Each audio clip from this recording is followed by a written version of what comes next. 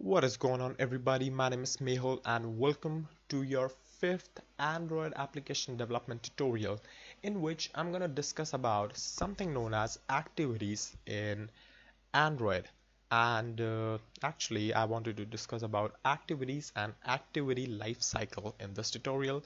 So starting off with activities, well what activities are? Well actually activities you can say that activities are pretty much pages of a book. If your application is a book, then activities are its pages. Well, a book is of no good without pages unless it's Kindle. Well, anyways, so what activity means is that it is sort of a page which you could present to your user and you could just throw off your user from one page to another as well using some button or some event or you know whatever and you could just pass on the data as well from one activity to another. So think of an activity like a page of your book and you would probably be able to relate it. So what this main activity means right now is that this is the first activity which would be launched whenever your user starts the application. So what happens is that Android gives you a lot of control over each and every point whenever Android considers that you could add some sort of functionality or some sort of behavior. So I have googled it and I found this image right here which describes pretty much in an ugly way how activity life cycle is there. So each activity has a life cycle. Well obviously if this activity is right now active it won't be active forever on the user's page. It's not your home screen or even anything else because your user would eventually just go to just press the back button or just exit your application anyways. Or if you just try to hang your application deliberately android would automatically kill your application without any mercy. So what this life cycle means is actually it says that when you tap on your application for the first time that means your application is not open in the background. So what happens is that on create this on create function is called. Now when this on create function is called your application has not pretty much initialized even. It is in a state of starting. So on create is like you are waking up from a sleep. You are not active actually. But you know what what is happening. You are under control.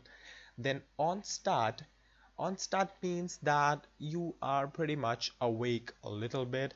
So you can restore your previous state. You remember that where you sleep where are you sleeping right now or you know how much time it has elapsed since you are sleeping so on start pretty much means like that. Then on restore instance I guess where is it? I guess it's not in this figure. So what on restore instance is that it restores your previous state. Like if you have you know if you have unsaved data for your application like your application is a form and you have somehow managed to save data when the user was closing your application. We'll learn about that later on. So on restored restore instance it would run so that you could just restore a state if needed.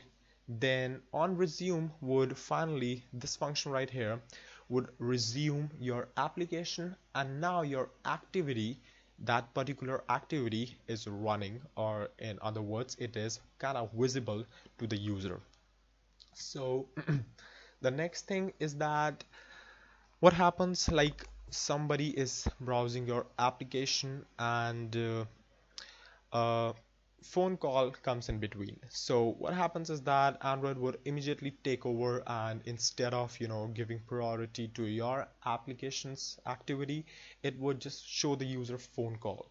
So in that case what happens is that on pause or on pause function is called.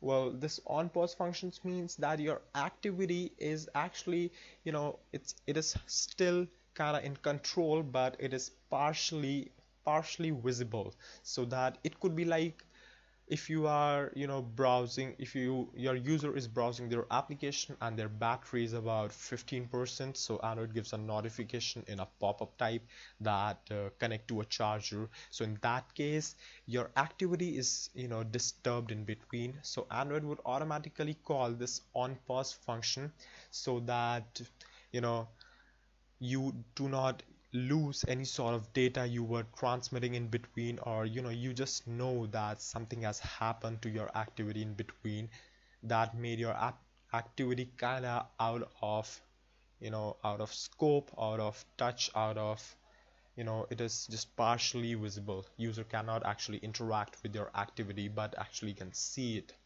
Then we have this on saved instance state. Now what this means is that your activity is kind of closed so it is no longer visible. That means that your activity is kind of you know you have switched activities with intents which we are gonna look at later on what intents are. Well that's how pretty much on saved instance state works. It just works when your activity is no longer visible that particular activity obviously for which. So whenever these things happen your activities in a paused state. Then on resume would be the function whenever your activities back to you know your activities back to activeness. So your activity is still visible again. This on resume function is called and your activities again in a running state. Then from paused itself what could happen is that user stops your activity or android stops your activity. Then what happens is that on stop function would be called well this on save instance shouldn't be here. On stop would be called and uh, on stop after on stop your application is stopped. Now when your application is stopped this on destroy function or the process killed is called as well. Well this function is not always called. You should not rely on this function because this on destroy would be only called when android is happy with your application or there's no some sort of memory management going on or android is not busy because android can forget to call this on destroy and it is not a bug. It is actually the way it is because on destroy is kind of meant to clear up things and not you know just put important stuff which you want your application to perform when it is destroyed. Now once this happens your application goes out of scope immediately and uh, it is destroyed. So that is how pretty much how life cycle of an application or an activity in Android works and don't overwhelm yourself with all of that information. This is kind of not really important at all. You would learn it yourself when you would start coding applications and you would make use of these all these methods.